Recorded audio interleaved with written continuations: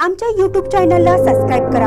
महानकारी news subscribe करा आणि notification on करा.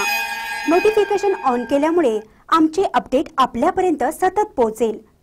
सांगली शेरी नाला आणि साखर कारखान्याचं घाण पाणी कृष्णा नदीत. उग्र वास आणि जलपर्णीमुळे लोकात नाराजी. कृष्णा नदी दूषित करण्याचं षडयंत्र रचलं जात आहे. मात्र याकडे गांभीर्यानं पाहिलं जात नाही. काही साखर कारखाने सध्या कृष्णा नदीत सांडपाणी सोडत आहेत. जयसिंगपूर औद्योगिक वसाहतीचं सांडपाणी कृष्णा नदीत जात आहे. शिवाय जयसिंगपूर नगर परिषद सांडपाणी कृष्णेत थेट सोडत आहेत. याचबरोबर सांगलीहून शेरी नाल्याचं सांडपाणी आलं आहे. शिवाय जलपर्णीही. आणि याचा परिणाम कृष्णा नदी सध्या दूषित झाली आहे. घाणपाणी उग्रवास आणि जलपर्णीमुळे कृष्णाकाठचे नागरिक हैराण झाले आहेत.